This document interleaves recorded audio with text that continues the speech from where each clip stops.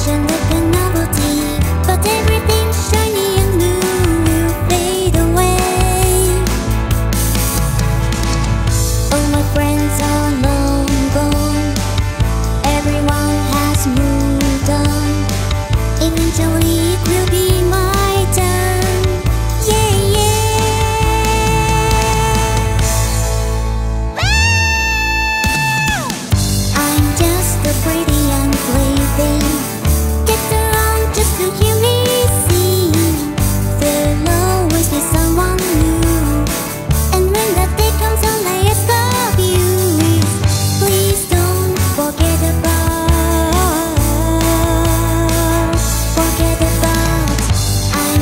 the breathing